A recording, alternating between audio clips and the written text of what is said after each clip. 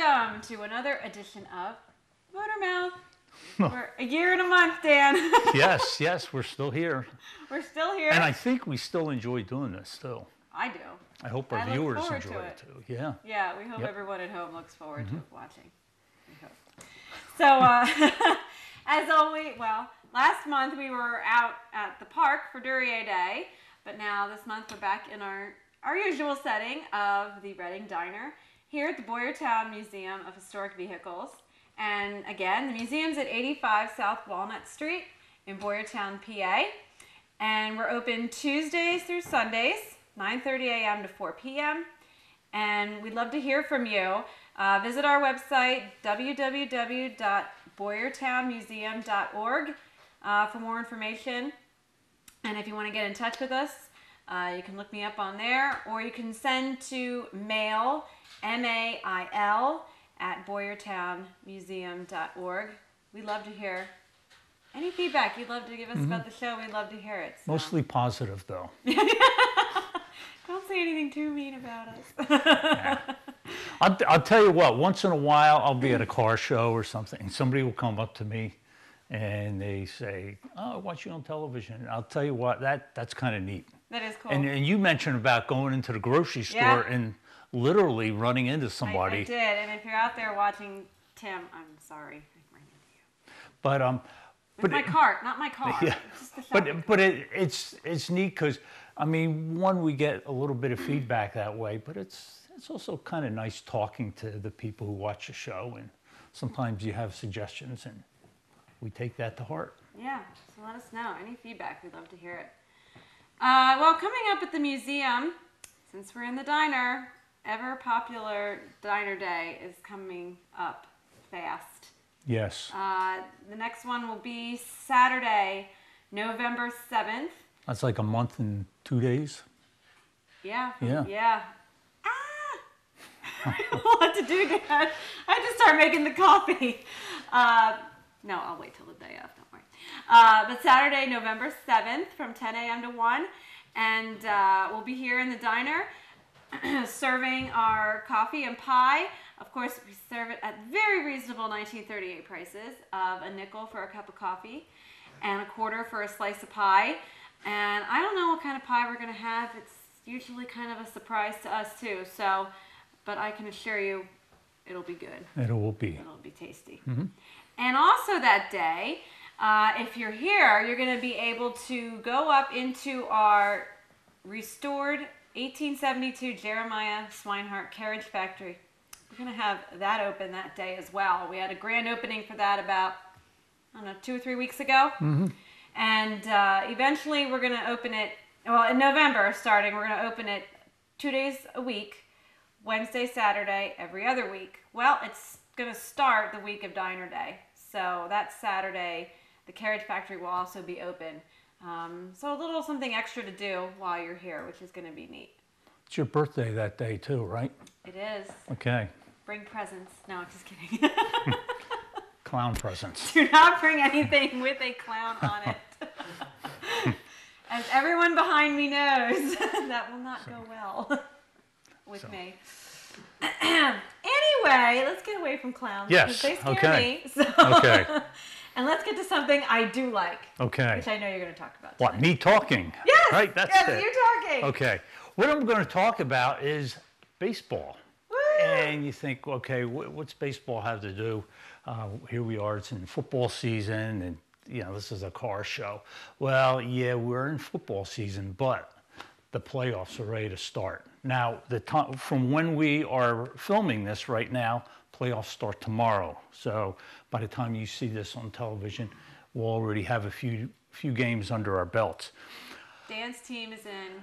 Well, I think they'll be out by uh, Wednesday. Well, they're in the playoffs. Yeah, barely. Mine is not. But anyway, um, there's some interesting connections between automobiles and baseball. And I wanted to talk about them. And first of all, um, there's, there's some, some um, Uh, what do you call it? Sp- not sponsors, but there's some players who were in advertisements for the car, a Case car, the JI Case company out of Racine, Wisconsin. Endorsements. Endorsements, that's the word I'm trying to think of. Thank you. Okay. And it's kind of interesting some of the things that are said, and I'll just read a couple here. And this is from 1912. And for the case car, and you might be looking at a picture of a case car uh, on your screen right now. It's not the same cars driven by these guys, but it's a case. You don't see many case cars out there. But anyway, um, this is talking about Frank Chance and Joe Tinker.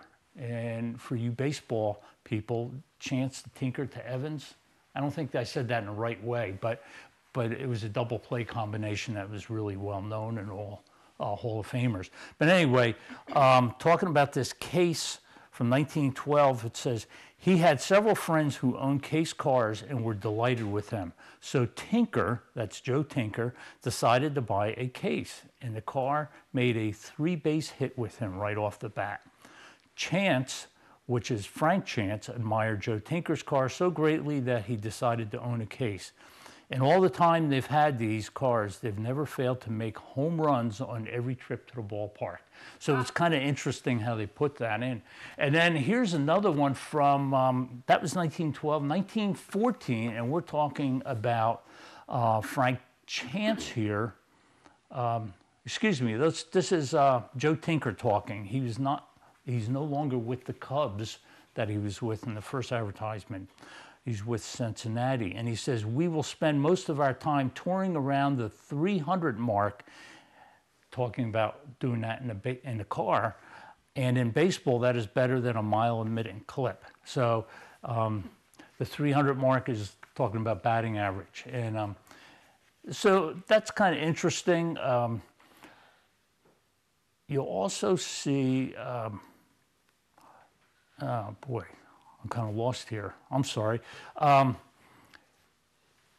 the the um, the Case car that was uh, built by Case Tractor, and they have this really neat symbol. Mm. It's the Earth with a big eagle stand on it. I remember a Hershey a few years ago. I saw a metal sign. It must have been eight to ten feet high, and it was for thousands of dollars. It was really neat. That looked good in the museum. Mm. But anyway, we don't have it. Okay, now another thing, uh, automobile-wise, I came across was something called the Chalmers Award. Um, this was started in 1910, and um, I'm going to read something uh, that I got right off the internet. This is with baseballreference.com, which is a great site. And um, it's talking about the Chalmers Award. Chalmers was a car that was made back then. So I'm going to read here. Before the 1910 baseball season, Hugh Chalmers of the Chalmers Automobile Company announced a promotion in which a Chalmers Model 30 automobile would be given to the batting champions for, the, for Major League Baseball's American League and National League. At the start of the final day of the 1910 season, Ty Cobb held a small lead in the race for the American League batting title. He was just a few percentage points ahead of the Cleveland Indians' Nap Lajoie. While Cobb did not play in the Tigers' final two games of the season, Lajoie played in two successive games on the last day of the season for the Indians. And you can show, you, you might be looking at the next picture here, which is actually um, a Chalmers Detroit car, and it's on a tobacco card um, from, from back then. And right after that, you're going to see a Ty Cobb baseball card from uh, uh, back then also. To continue on, because Cobb did not have a plate appearance, his batting average did not change. However, LaJoie hit safely eight times in the Indians' doubleheader against St. Louis Browns. With eight hits and nine at bats, LaJoie finished the season with a .384095 batting average. Brown's manager, again, this is the team that LaJoie was playing against.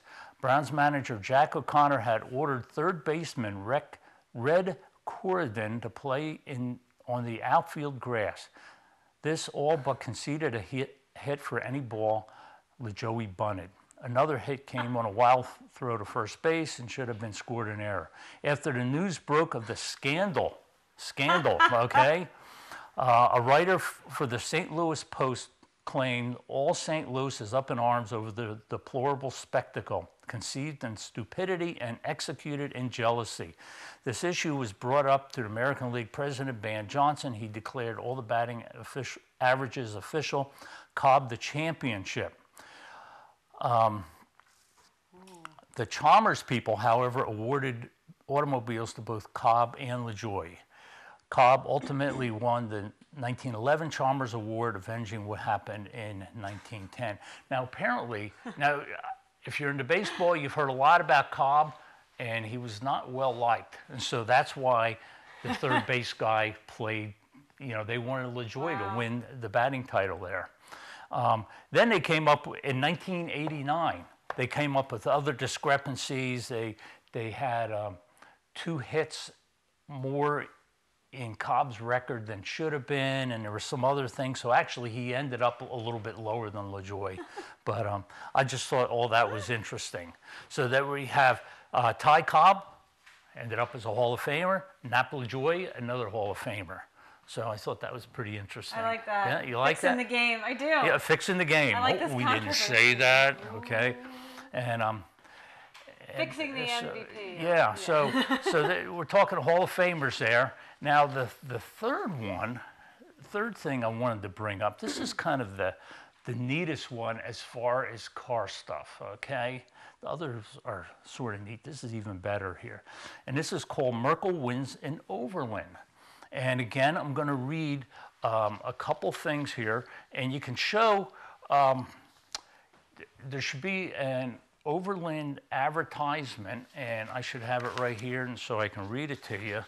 Okay, for Overland, um, this is 1916. It says for $635, you can now get this corking car. Corking, C O R K I N G, car, with all kinds of power and speed, and so easy riding that a long day's journey will not tire you. It has every convenience and has the looks, will go anywhere a car will go, lots of places other cars can't go as fast as you want and with absolute comfort. This wonderful car calls you to a new freedom, a bigger, broader, healthier, happier life for you and your whole family. How's that? Isn't that great? That's so heartwarming. And and that that advertisement, um, you'll see that on the screen, and I got it out of this 1916 automobile book. So And the whole family's in the car the whole family, in comfort. yeah, and they're pointing at a map of uh, Texas, I guess. Is that what he's pointing at? Texas. Looks like he's pointing at Texas. Yeah, this person's waving at Arizona. I don't know. Okay. Any, anyway, um, so I'm gonna I'm gonna read. This is from the May fifth, 1915 issue of the Horseless Age, which is another car magazine from back then. Um, it's entitled "Overland Offered to a Heavy Hitter."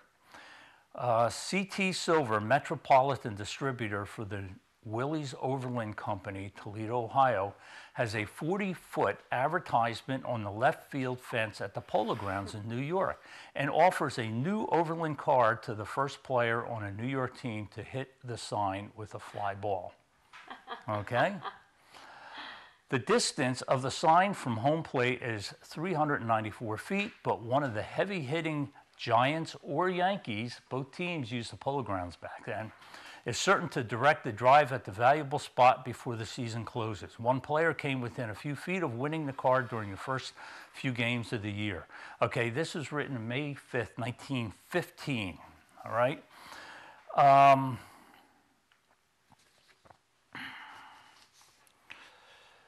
The, the next thing here I have is uh, June 1st from 1916. So we're a year and a half after the, sea, the sign has, has been put up.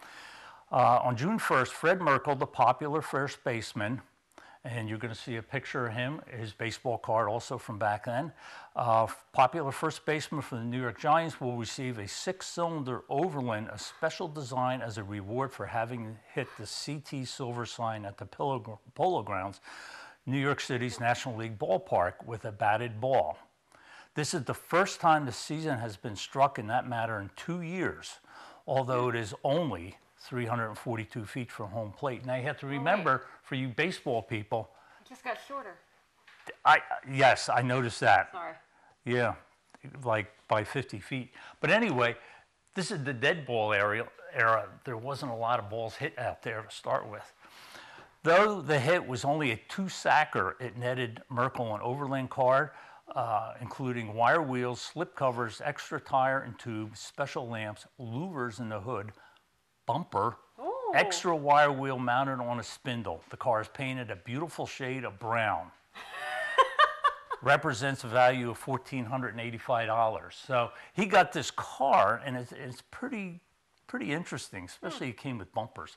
Yeah. Um, now, I don't know if anybody's ever seen the polo grounds, but it looked like a horseshoe, and at the bottom part of the horseshoe was where home plate was.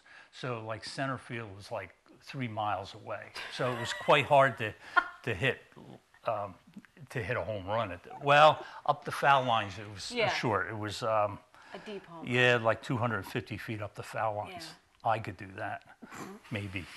So this whole thing was was a promotion by CT Silver, and I didn't mention this at the beginning, but CT Silver was a New York City distributor for Willys Overland's automobiles, and Peerless, and Dort, and Chalmers, and Apperson, and Kissel. Chalmers too, huh? Yeah, and uh, he had an advertising scheme even before this. He had two banners uh, hanging up on his building that could be seen for blocks all the way to Times Square.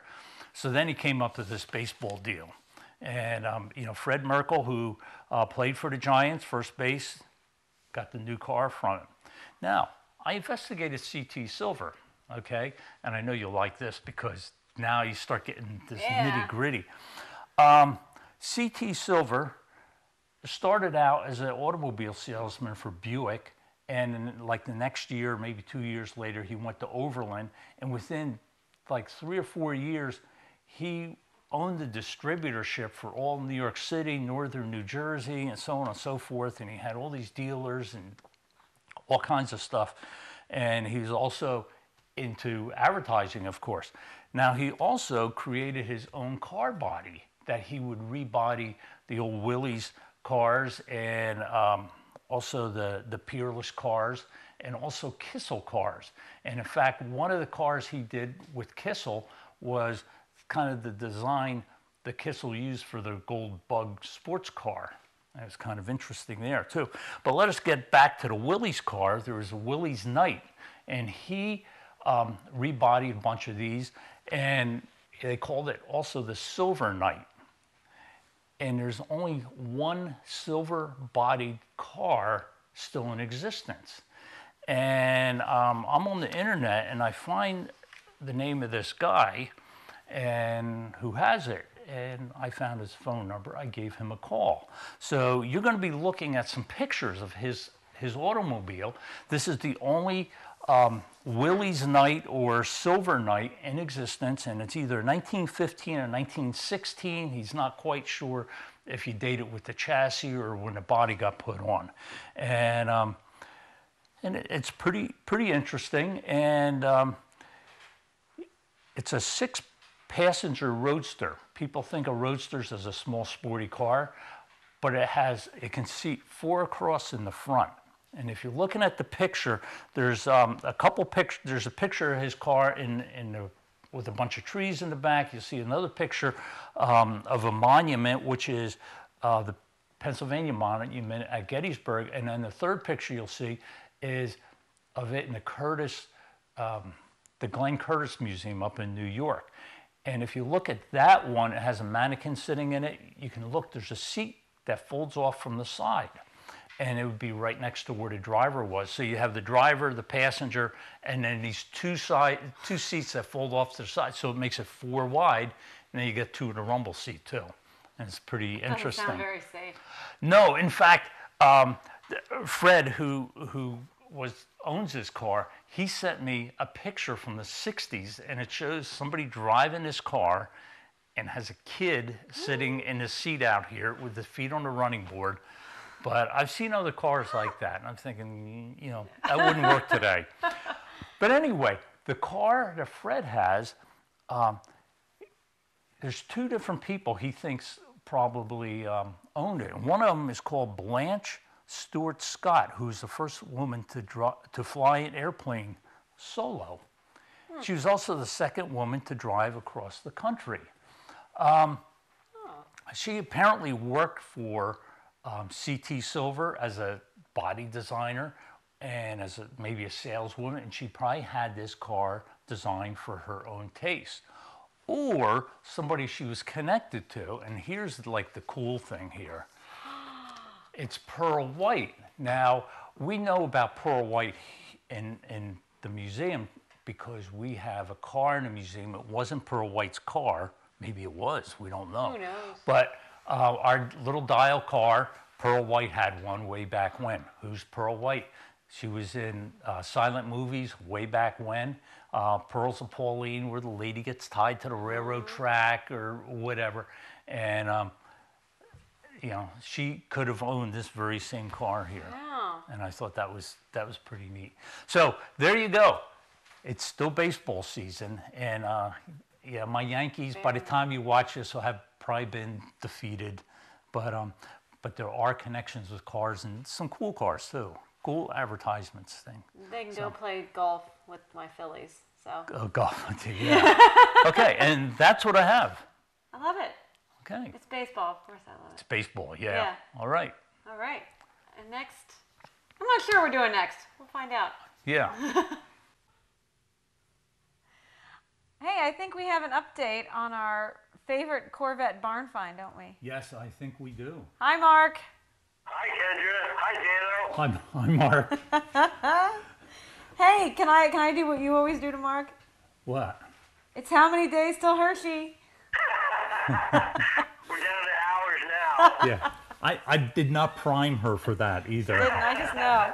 You Yeah. got her up for that. Yeah. So. Well, Mark sent us more photos of what's going on with the the vet. So, where do you want to start?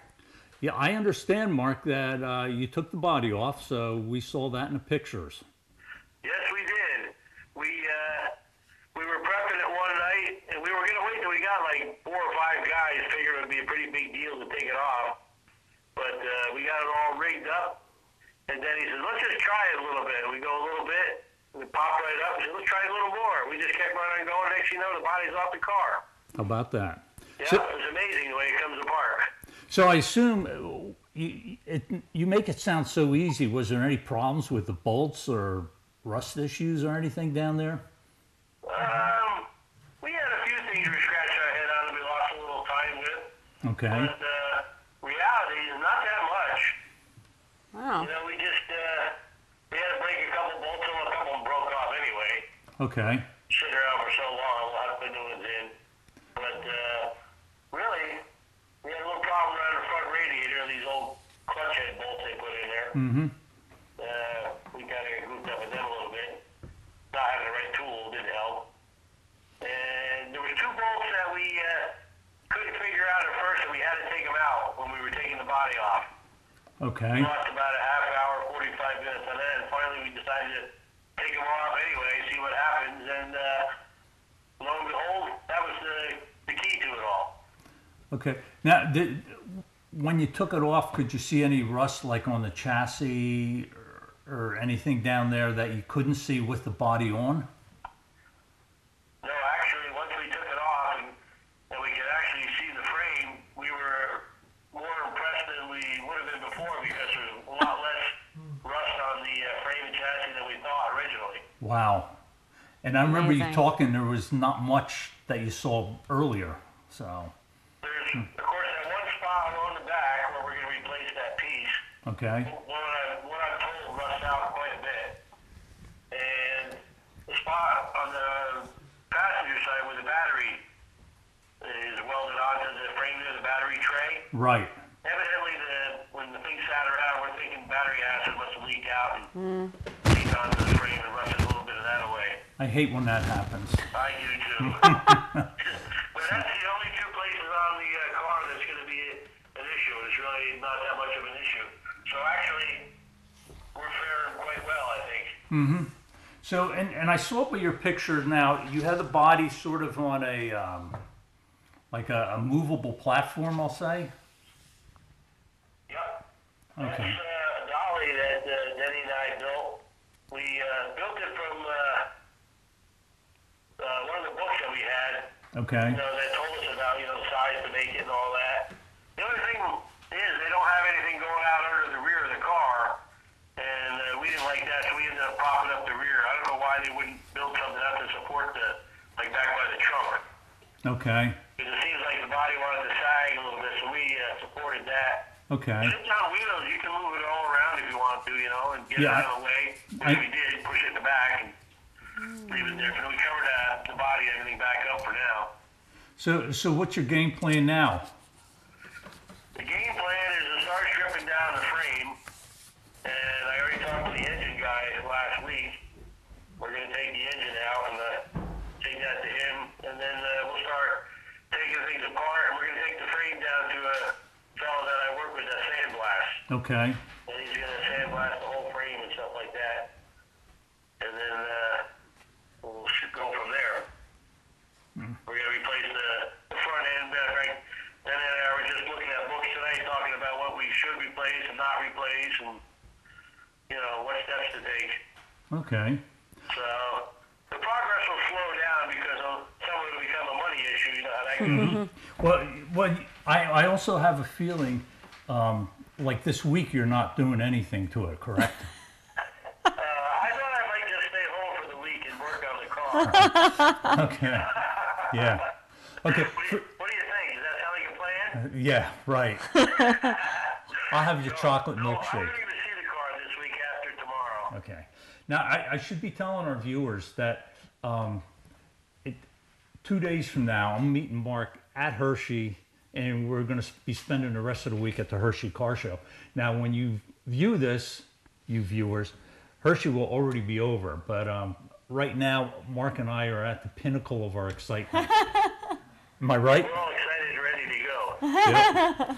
yeah. Trying to get packed, but that doesn't happen to the last minute. So, so it, it sounds like you're um, making progress on this, and it sounds like everything's going pretty smoothly. You know, I mean, you said two bolts that broke off, so that's I think you're Good. doing pretty good. But we, we, we broke off a few more than that. There was two bolts that we couldn't find that we had to take off, which once we did find them, then the body came right off. Okay. Well, we were going to put all new bolts and stuff in it anyway, so we, we actually we were happy when the bolts broke.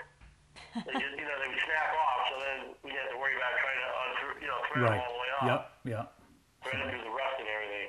So I actually we're very pleased how it came came apart, and it's a lot easier than I really thought it was going to be. Mm-hmm. Now, going back together, we'll see how that goes. Okay. We'll cross that bridge when we get to it. Absolutely.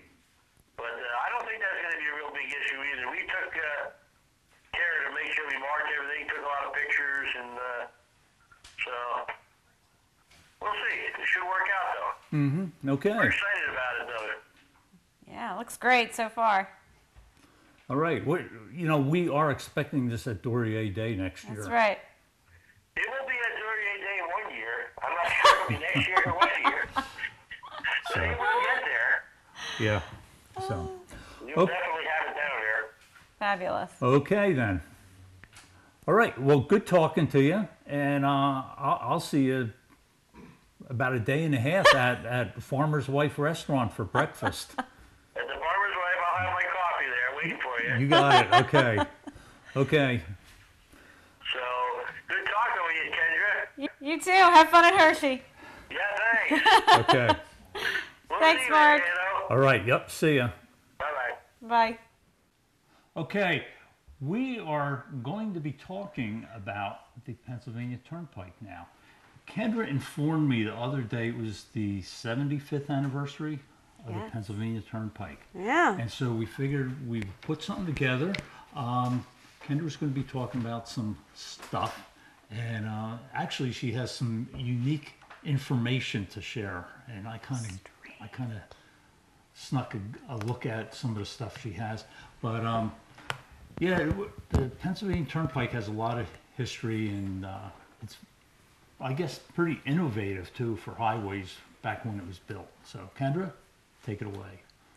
And to help bail me out, because he knows a lot more than I do, we have uh, Sam Fiorani with us again. He was here the last time we were at the museum filming. So not last month because we did Duryea Day, but you were here before then. Yeah. when we had that beautiful Packard here and those pedal cars. So welcome back. Thank you. Um, and yeah, I know that you he was. For those of you who maybe used to watch, uh, hopefully you still do online, but uh, Wheels Along the Road when we had that playing on PCTV. If you were watching back five years ago, we were discussing tonight, almost exactly five years Almost ago. exactly. Sam was on Wheels Along the Road because, of course, then that was the 70th anniversary. Uh, the Turnpike basically uh, opened up on October 1st First. of 1940. Uh, so, you know, now we're here we are five years later. Of course, we're still using it. it ain't going anywhere. Um, but really, I guess you could say the history of the Turnpike goes back a lot further than that, though. It goes way back. 1940. Yes. Yeah. Yeah. Yeah, um, colonial times, or not colonial, um, very, very early. Uh, I even have that. The first time I guess Pennsylvania's tried to create some kind of road that would connect a vast distance in this state, uh, which was 1792. The Philadelphia and Lancaster Turnpike Company, which, guess what, spanned Philly to Lancaster. Lancaster. I would have never guessed. Amazing, isn't it? They really were creative with that name. Uh, um, but, and I read this and I thought of you, Dan. Uh, they, I think, didn't they use logs or something to pave the road? We talked about that a little Cool. while ago. Corduroy roads. Corduroy Road's a very early corduroy road. So uh, it was from the beginning, really, an idea of efficiently. Uh, Crossing long distances. well, yes, in this state, and it's about two big cities at the time, of course, Philly and Lancaster. So, and then it just kept kind of going from there. Um, Well, the next big thing was trains. Sure. Was getting trains across the, the state. And so in the uh, 1840s, they decided they were going to cross the state with uh, another railroad. And they laid out two different paths. And one went from, they both went from Philadelphia to, from Harrisburg to Pittsburgh. But one went a northern route through Altoona, and the southern route went through Bedford. And when they decided on which route to go, they chose the northern route through Altoona because it used fewer tunnels, it was less, less to ex- mm-hmm. excavate, and they, let, they had already laid out the two paths. So for 100 years, the lower path lay mostly dormant. They tried to hmm. put a couple trains in at different places, but for the most part, the, the path from, from Harrisburg to Bedford to Pittsburgh was just laying there. now I have to ask, why Bedford? Bedford fits between. know? Be, it's in the valley, Okay. uh, and it it fits right in between. If you go across Route 30, you'll see that the mountains kind of open up right through there. So there's a, right. a way through there, but it, it's also mountainous as you go along that way. If you go up across uh, Route 22 through Altoona, from uh, from Harrisburg through Altoona, it's hilly, Mm-hmm. but not like when you're going across when you go across the turnpike. You have to go through tunnels because the, the mountains come Right. right straight through there Right. And at the valley right there in towards uh, in the middle of Bedford County, there's a break, so you can make the train go through there, or the train at the time. So it's a good geographic. It was better. Stopping it was better than really. slightly north of that, where Right. it's just the mountains, Right. or f- farther south. But uh, uh, but you would have to go f- much farther north to avoid them altogether. Right. And now I know, like my notes here, you know, now these go up to the 1880s, um, where Vanderbilt and Carnegie started getting involved, and it didn't really work out No, quite, quite the way they wanted to. Again, with the railroads, um, that was the second attempt to make a major railroad across there. yeah, and you know Vanderbilt um, basically loses his shirt on the deal, um, and it's not a total loss. Well, for him it is, but years later they'll start. They'll try to go back and maybe kind of use some of that work that was done in the 1880s to make what we have now. Vanderbilt was coming across to to connect Harrisburg with the um, the steel mills, Carnegie steel Mm-hmm. mills, and he was competing against someone who had encroached on his territory. So Mm-hmm. he felt like, well, I'm going to go and encroach on the Pennsylvania Railroad's territory. So he used the southern ri- route to come across, and ran out of money after four years. It took him four years to run out of money. He, he had amazing. he had nine tunnels to build. He had uh, 100 miles of uh, train delay. Yeah. And, uh, and just cutting through the, the mountains was a, was a big deal. Yeah, as the Turnpike is going to learn, the Turnpike Commission will learn in a couple of decades when they try to do that. And really, the next like bullet point that I have is 1937 is the next big thing. And they decided to build the Turnpike. That, yeah, and that's uh, and the governor at the time was George Earle, and he creates the Pennsylvania Turnpike Commission, um, and FDR is cool with it because for him, it helps with his New Deal program, getting work for people, the WPA or the Works, uh, the cheat Works Progress Administration. That's a good way to get jobs for people, the Great Depression, who don't have jobs right now. What better way than to build infrastructure? I mean, that's like an easy go-to thing to get also, people working again. a good way to move troops if, if need be. And that too, we talked about that the other day Yep. too, about you know it was a good way to, and you know Eisenhower's going to come in like 20 years after this and uh, help with the interstates too. Um, so yeah, and it, and then you know they work on this uh, the turnpike, what they want to do, design, um, and I have in 1939 is when they kind of reveal what they're going to be doing. Um, and it's the turnpike is not as long in the beginning as it is now. It's I have uh, covering a distance of 160 miles, um, It went from Middletown to, I believe it was Irwin, Irwin, which is out towards Pittsburgh. Pittsburgh way, and uh, yeah, Middletown would be Outside the of middle. Harrisburg. Yeah, about right in the middle of the state. So they don't really care about the east yet. We'll get to them later. um, and I mean, this really was a pretty innovative thing for the United States. The, the whole road was supposed to be very few turns, very few curves, Mm-hmm. uh, allow traffic to move at speed. And we're, we're talking 1940s era cars Yeah. doing 70 miles an hour. Right. They didn't want uh, the grades, you know, had to, were very slight because they didn't want you struggling to get up. No grades, Hills no, no sharp turns, and, and limited access. And if you want to avoid hills, Pennsylvania's not a good place to do that. So there was a lot of uh, excavation done, and those pesky mountains are going to get in the way eventually. The railroad planned a, a bunch of tunnels, and uh, when they got around to building the turnpike, they decided to to bypass two of the tunnels Mm-hmm. and then cut away one of the tunnels, which became Yeah. the Clear Cut Ridge. And if you drive through Bedford County, you, you can see the, the strata of the earth as you drive in between where they cut away what would have been a, another tunnel. Yeah, they originally planned for nine, and by the end they're going to be down to seven.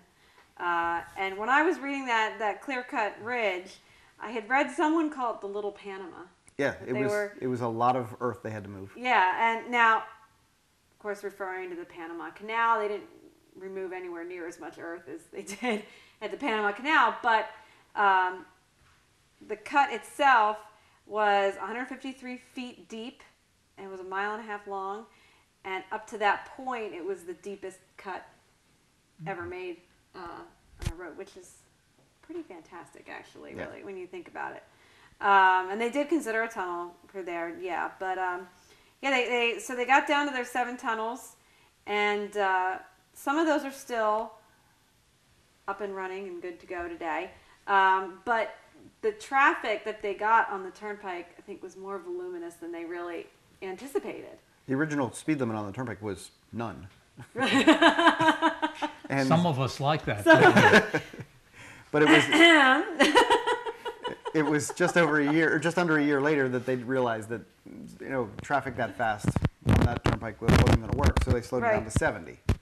But the tunnels were 35 because there was only Ah. one way through for Mm-hmm. each one, so you had to go from two lanes down to one to go through the tunnel. Right. So it went from 70 to 35. in so a there was a bottleneck short, there. yeah, oh yeah. And you know now, if you go, um, we're down to four Four tunnels. across the bottom. Yeah. And so when they realized that they needed to fix this tunnel situation, they either bypassed them completely or they doubled up on them. So they built like an identical tunnel Twinned them. next to it. Yeah. Yeah. And then so you had both of your uh, eastbound lanes going through the one and through the other instead of condensing again. So, So they, they twinned four across the, the Mm-hmm. southern part of the turnpike. And then they bypassed uh, Sidling Hill and um, Rays Hill and the one in Somerset County, Laurel? Laurel Hill. Laurel Hill. And uh, Laurel Hill is uh, privately held at the moment. It's uh, being held by a race car company that they're Oh, really? Hmm. testing engines inside it. And if you go around it, the, the bypass around Laurel Hill is kind of horseshoe shaped, where you actually go up towards the front and then make a right and come all the way around and back around the other side. Hmm. But there's an access road. So if you go down the access road, you can see where they've sealed off the end of the, term, the tunnel, where they're, they're testing it, race car engines. taking notes. I. Yeah, I know. That's the one I haven't Can't- hit yet. Ken- Kendra's ready for a field trip. The other, I- the other two I tunnels. love the tunnels. By the. The other two tunnels in between Bedford and Fulton County Mm-hmm. have been bypassed, but their bypass kind of goes over them, and it's Yeah. one tenth of a mile longer than the old road. Yeah, it's you can you can pretty much see. You can see where the road goes from the turnpike, but if you if you go on Google Maps, it actually says abandoned turnpike. You can actually follow hmm. the road across there, hmm. and uh, they're trying to open it for bike traffic so that yeah, you can bike through the tunnels. Hmm. doesn't have the same appeal to me if I can actually am allowed to go there. Yes, but going going through a thirty a sixty three hundred foot long tunnel with no lights, Yeah, you think that clown's funny? I did it. that didn't scare me. I have. I've been to the to Rays Hill and uh, Sidling Hill, and the one is extremely long. It was the longest of all of them. Yeah, it's it's really amazing because you do get to a point in that tunnel where you do not see either end. It's dark. I mean, it's slightly. There's a very slight dip to it. When you get into the middle, you cannot see. It's really cool. Yeah, yeah. It's not scary. if there were a clown in it, it would be scary. Yeah. Remember that next Yeah. time. Get a clown at the other side. No, no, not that. uh, but yeah, I mean, it, it's you know they built this, um, and and I don't think they realized or anticipated again how popular this road was going to be, and you know again the limited access uh, made it very unique, uh, and the fact that it had all of this, um, you know, like we were saying the. The the no steep grades. Um, try to make it a smooth ride as possible. It was great for underpowered trucks at the time and, and Sure. family cars traveling all the way. Yeah. Uh, the scenery is beautiful al- along the whole way where you can see the countryside, you can see uh, various landmarks along the way. It's, it's great to drive along, but it, but it is straight and kind of boring. It is kind of boring. It, it, it is. It is kind of boring. But if you know what to look for, there are, there are some great sights along the way. yeah, the one uh, you tipped me off to this, and I thought it was pretty neat, and try to get some uh, pictures up here uh, that you can see. That you had told me about a church in Somerset County, and uh, I looked it up. That they have steps that actually go right. Used to. Used to. Yeah. There, there's a sad little uh, When they built the, the epilogue church, to this story. when they built the turnpike, the church um, cemetery was in the way, and they had to relocate the cemetery. In order to relocate the cemetery, the church was given access to the turnpike in perpetuity. So they were allowed to have the stairs down to the turnpike. Yeah. And when they widened the turnpike a few years ago, the stairs went away. Yeah. I wonder how, if they had access in perpetuity, how they. I mean, you can't do that. No. I mean, for safety reasons, you cannot just walk along the turnpike and go up and down steps. There was a, there was a nice pool off there. You could park there. You could Mm-hmm. dri- walk your way up the stairs. now, I read that when the turnpike first opened, 1940, people would go and picnic along the turnpike. Yeah. So it was that kind of an atmosphere. Yeah. So I could see if you wanted to, you know, visit family members' uh, cemetery, Mm-hmm. um, you know, you could stop, or if you wanted to attend that church or Mm-hmm. whatever, you just that Well, was just a quick way. you know, it's like you just said, people used to picnic. And, you know, when they, uh, I read an article about this church from about a year ago or so, and they were talking about how they're going to widen this and it's going to take away these steps. And, you know, the, the Turnpike Commissioner spokes, or commission spokesperson at the time said, you know, people used to picnic here. It's a different turnpike today. You know, there's stuff that would never have been allowed to be built now because of just the speed, how fast cars go, how many people are using it, um, safety reasons. We just can't do that anymore. So, unfortunately, that church lost its steps. It's, it's still a nice little church in New Baltimore. It's Yeah, uh, it's a Roman Catholic church, uh, New Baltimore, like New you Baltimore. said. And I was reading, the founder was from Baltimore, so he made New Baltimore, and he wanted it to be a safe haven for Catholics, which kind of funny because that's what Maryland Hmm. was, was the safe haven for Catholics. So he came and made like a little Maryland in Pennsylvania, but. But aside from the turnpike, getting to New Baltimore is difficult because it's on a back road and it's hard to Right, get to. that's what I was reading too. That now to get to that town, it's they have to drive like an extra thirty miles or something Yeah, it's- just it's to a get distance. back. So, yeah. but this almost like quaintness and novelty of the turnpike could probably be expressed too by all these lovely little souvenirs that we have here. Um, these are on display at the museum. I took them out of the case for the show tonight. And these are on loan to us uh, by a gentleman whose father was on that original Pennsylvania Turnpike Commission. And uh, his father died when he was very young. He didn't know his father very well. I think he died when he was six or eight or something like that. But he was always interested in what his father was doing, you know, what he did uh, with the turnpike. So he goes out and collects this stuff. But I mean, we have so many these little like binoculars, and they've got uh, images of the tunnels.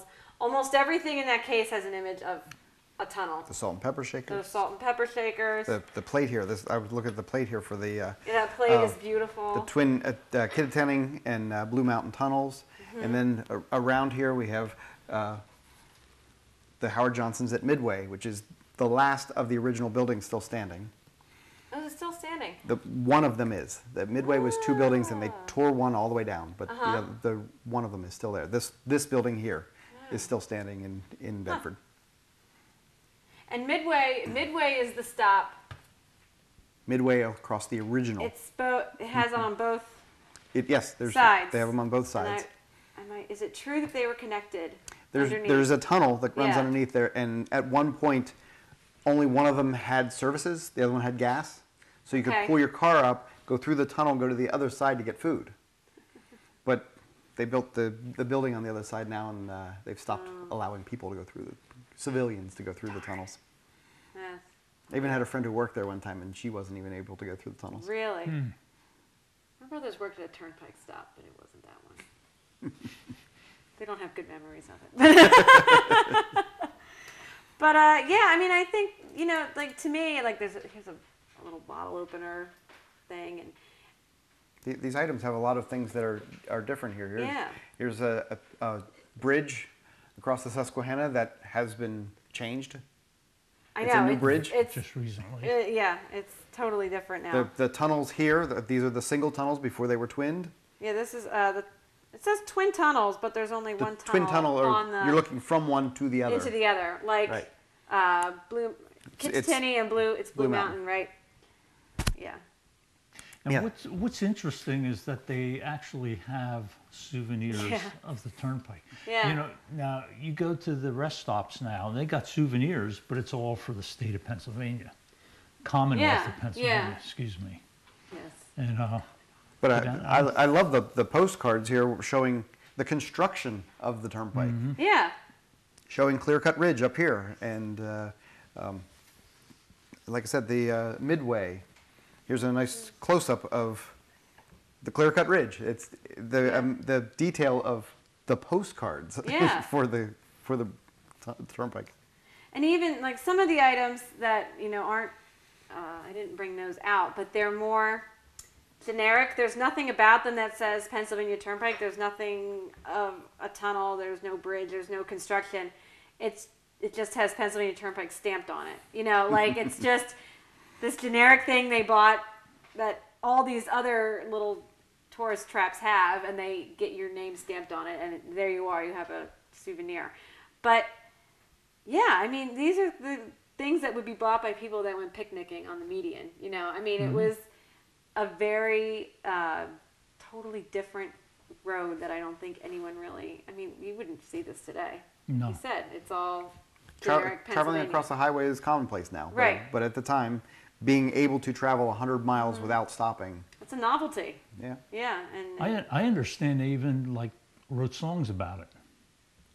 do you understand Mm-hmm, that? he asked me, so now I have to Do you talk have about a, it. Do you have a song? I, I happen to have a song about the turnpike, which is wonderful. It was uh, it's in my head now because I've heard it about ten times today and it won't leave. Um, but it was called Pennsylvania Turnpike, I Love You by Dick Todd and the Appalachian Wildcats. Sounds like a Sounds like something. interesting. but would you believe that Dick Todd was not a Pennsylvanian? He was not even from the United States. He was from Canada. Well, it shows how much he liked our turnpike. He was still swayed by the grandeur of the Pennsylvania Turnpike. He was the Canadian Bing Crosby, I read. Um, and this song, we'll play it for you. Uh, was one of his last recordings. Um, I think in 1969. To me, it sounds a little older than that. But uh, anyway, uh, he's kind of obscure, we'll say. Uh, he had his heyday was between uh, the years 38 and 42. They say he recorded 200 songs for RCA, uh, but he just kind of fell off the radar after that. But the lyrics on this are just great, and my personal it kind of reminds me of uh, on the way to cape may if anyone's heard that like it's that kind of you know Okay.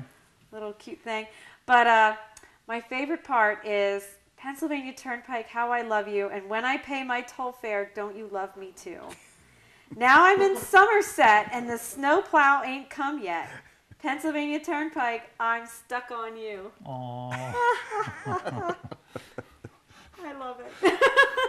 so we'll play that song for you, and you can hear how absolutely lovely it is.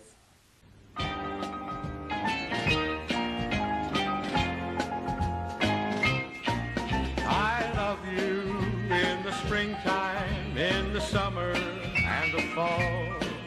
But when the blizzard's blowing, then you don't thrill me at all. I'm a leaving for the Southland, and I'll miss you, I suppose. Another one will take your place, but that's the way it goes. Pennsylvania Turnpike, I love you so. All the way from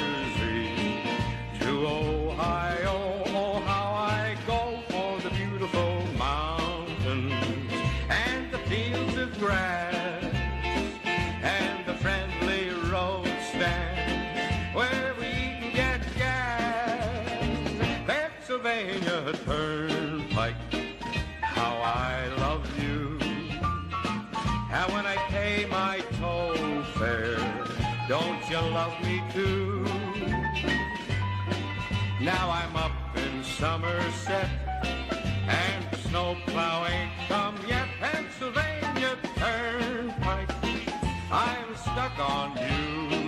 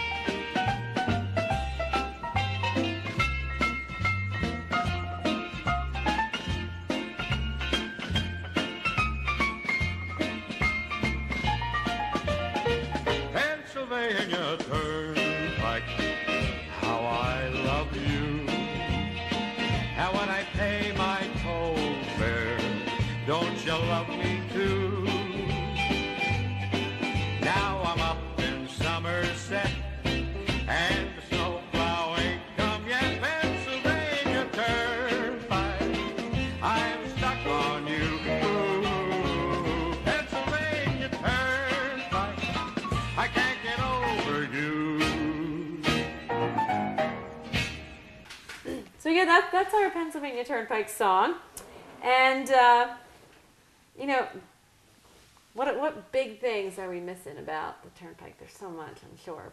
Yes. Any connection at all to the German Autobahn? Was there uh, ever, ever, you know, any attempt to copy what they were doing in Germany? Was there some of the inspiration to do it potentially as a result of the Autobahn? maybe using some of the technologies that they used uh, on the Autobahn uh, in Germany. Any so any connection at all uh, to that?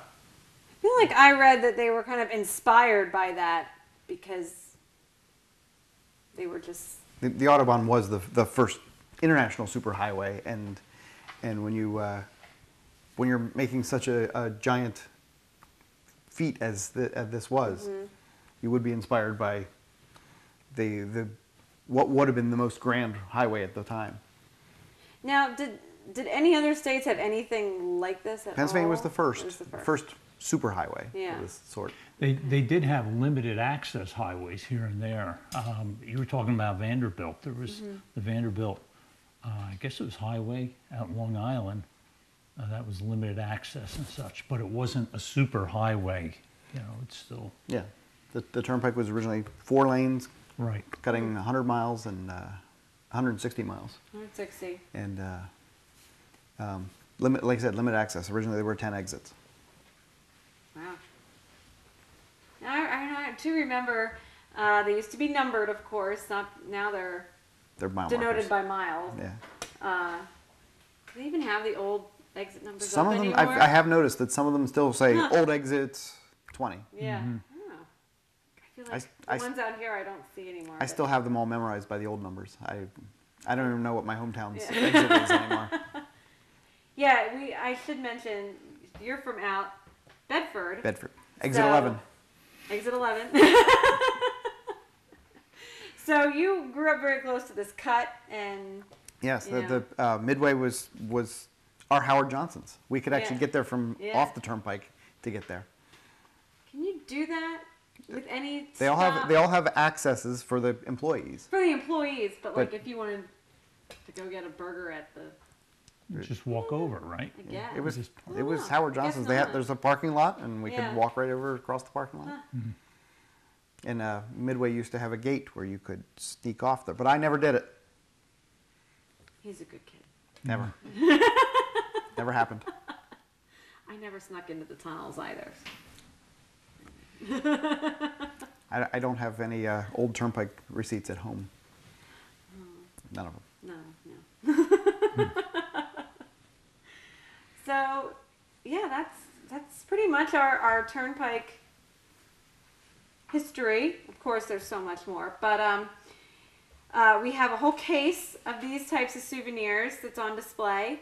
Uh, we also have a, a video playing out there that was done by the Turnpike for their 70th anniversary that plays out there and gives a little bit of the history too, and you know all the updates and changes that they had made up till then. Uh, and uh, it's really it's a pretty amazing engineering feat, and it's right here in our state, which is pretty neat. I'll give you the other highlights when we get off the air where the hidden tunnels are. You'll find those. Okay, uh, thank you all for joining us this month, and check out the newest episodes of our shows on the Boyertown Museum website, boyertownmuseum.org, and I need to leave. Yeah, we, we got these clowns for our audience here, and this is a representation of oh, them.